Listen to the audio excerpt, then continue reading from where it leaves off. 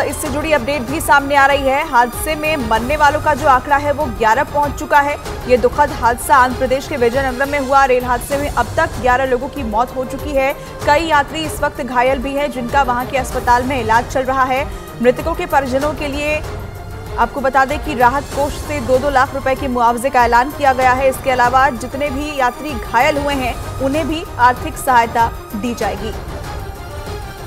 बड़ी खबर आंध्र प्रदेश के विजयनगरम से, जहाँ पर आपको बता दें कि दो ट्रेनों की टक्कर हुई थी और इसके बाद विशाखापट्टनम से रायगढ़ जा रही ट्रेन, ये पैसेंजर ट्रेन थी जो कि पटरी से उतर गई।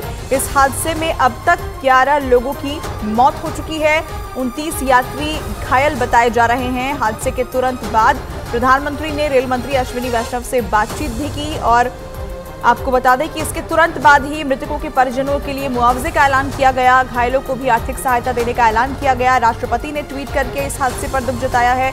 इसके अलावा प्रधानमंत्री ने खुद रेल मंत्री से बातचीत करके जायजा भी लिया है। तो तस्वीरें भी इसकी कुछ सामने आ चुकी है। दो ट्रेनों के बीच दरअसल टक्कर हुई थी, जिसके बाद पैसेंजर ट्रेन जो है वो पटरी से उतर गई।